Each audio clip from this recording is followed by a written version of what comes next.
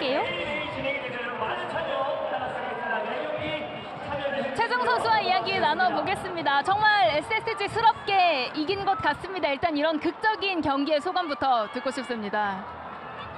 어, 그 너무 기분 좋고요. 어, 오늘은 좀 뭔가 경기가 좀 힘들게 진행돼가지고 오늘 좀 어렵겠다 했는데 그 제가 오히려 찬스가 안 걸리고 투아웃 때 좀 약간 마음 편하게 들어가서 일단 동점 홈런이 된 것 같고 근데 유섬이가 그러니까 에레디아랑 유섬이가 너무 멋있는 플레이를 해줘가지고 예, 너무 극적으로 이긴 것 같아서 기분 좋습니다.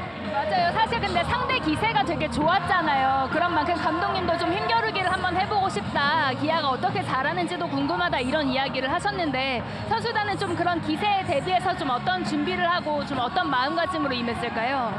어, 뭐, 뭐, 뭐 특별한 마음가짐 없었고요. 어, 그냥 자- 저번 주 이제 수원 경기 때 그 좋은 분위기를 계속 가지고 오늘도 게임에 임했는데 뭐 어찌됐건 이겨가지고 네, 좋은 분위기 계속 이어갈 것 같습니다. 네, SSG의 기세가 더 강했던 것 같은데 일단 또 홈런 이야기를 안 할 수가 없잖아요. 너무 극적으로 사실 오늘 안 나올 수도 있을 법했던 그런 상황이지 않았나 싶어요. 아까 말씀하신 대로 좀 편한 상황이었다고는 했지만 좀 그 상황을 좀 자세하게 설명을 해주신다면요.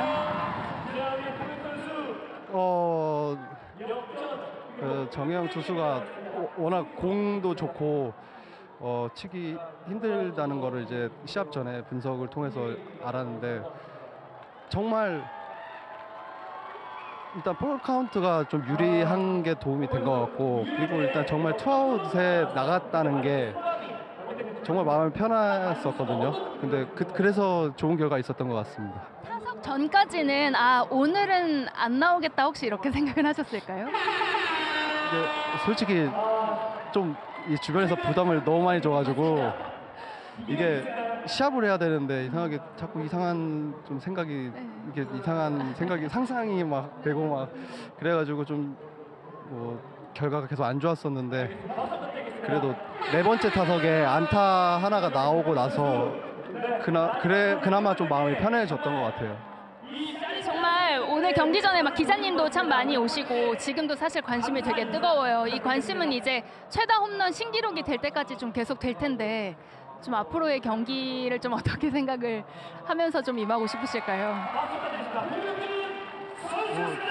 그냥 하- 오늘처럼 네. 그냥 기대도 안 했는데 나오는 홈런이 나, 아니 그 홈런이 나왔으면 좋겠어요. 그러니까 뭐 의식하지 않고 그냥 시합 속에 열심히 하, 다가 이렇게 오- 그냥 뭐 저도 어떻게 쳤는지 모를 정도로 홈런이 나왔으면 좋겠습니다. 네, 이렇게 전설과 어깨를 나란히 했습니다. 최다 홈런 타이까지 왔는데요. 장성호 해설위원은 그렇게 말하더라고요. 홈런 치기 위해서 태어난 사람인 것 같다고요. 최정 선수에게 또 그 홈런이 어떤 의미인지 또 지금 시점에서 한번 여쭤보고 싶습니다. 아 정말 저는 어 입단해서부터 이제 쭉 이제 1군에서 야구하면서 좀 홈런 타자라는 생각을 계속 안 했었는데 뭐 지금도 마찬가지고 저는 어릴 때부터 중장거리 타자라고 생각하고 좀 타율을 올리고 싶어 해- 해- 많이 했었거든요. 근데 일단은 어 그냥 큰 부상 없이 한 시즌 한 시즌 잘 마치, 마치다 보니까 이렇게 홈런 수가 누적이 돼서 이렇게 온 것 같습니다. 부상이 없다고 홈런이 느는 건 아니잖아요. 어떻게 가능했을까요?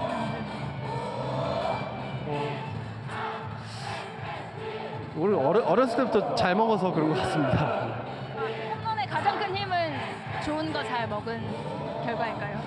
네, 그냥 좋은 타이밍에 뭐 어, 좋은 포인트에 맞아서 홈런이 많이 나온 것 같습니다. 저도 어, 홈런이 왜 나온지 모르겠, 모르겠어요. 네.